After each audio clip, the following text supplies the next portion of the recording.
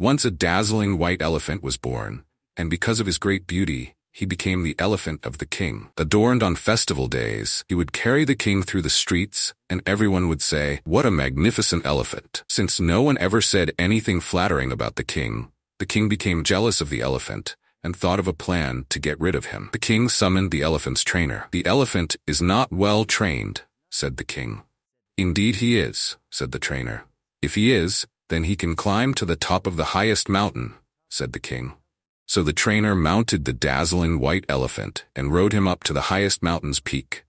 The king and his courtiers followed in horse-drawn wagons. If he is so well trained, said the king, he can stand on three legs at the edge of the mountain top.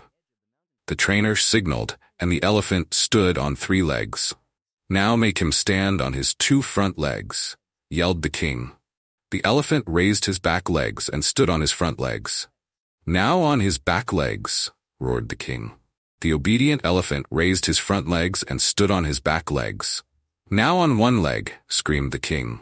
And the elephant stood on one leg. If he is so well trained, screeched the king, make him stand on the air. Surely the king must want him to fall off the cliff, the trainer thought.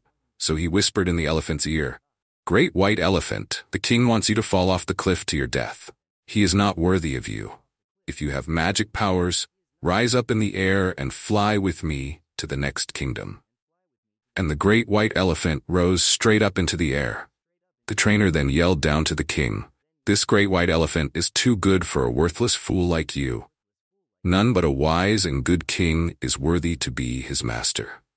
And off they flew to the next kingdom, whose wise king in time reduced the worthless king to ashes.